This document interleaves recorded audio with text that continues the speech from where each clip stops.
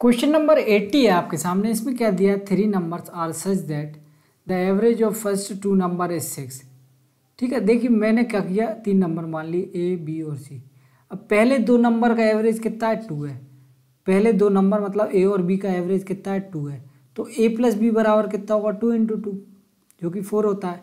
ठीक है, फिर क्या बोल रहा है? The last two number is three last two number मतलब बी प्लस बी और सी तो बी प्लस सी का सम कितना हो जाएगा?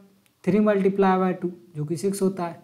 ठीक है and the average of first and the last number is तो पहला और लास्ट नंबर क्या है? ए और सी तो ए प्लस सी का सम कितना हो जाएगा? फोर मल्टीप्लाई बाय टू जो कि एट होता है।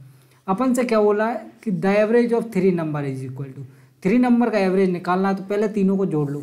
तीनों को जोड़ेंगे तो क्या आएगा?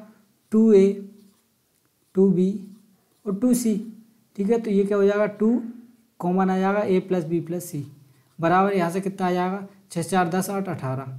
ठीक है इस टू से इसको काट देंगे तो अपने पास A plus B plus C का सम आ गया कितना? नाइन और एवरेज क्या होता है? A plus B plus C upon three तो थ्री से डिवाइड कर दो इसको दोनों साइड ये कितना बचेगा? थ्री तो एवरेज कितना आ जाएगा? थ्री बहुत ही आसान सी बात है। ठीक है?